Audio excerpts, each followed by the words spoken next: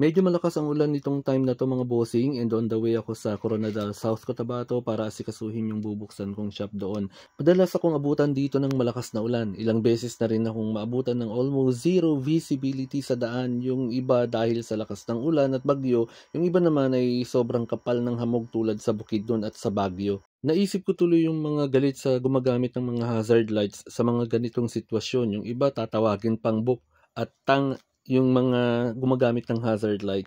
Dito po kasi sa Pinas, gagamitin lang ang hazard lights kung may emergency or fully stopped ang sasakyan sa mga alanganing lugar. Pero sa ibang bansa naman, ina-advise gamitin ng hazard kung may obstruction sa daan, kung malakas ang ulan at halos walang makita or foggy para i-warn and i-alert yung drivers na nasa likod nila. Sinasabi naman ng iba dito sa Pinas ay dapat itabi daw ang sasakyan at igilid pag malakas ang ulan or almost zero visibility saka mag-hazard light. Para sa akin po na nakaranas na ng ganyang sitwasyon sa mga alanganing lugar, hindi po safe yan.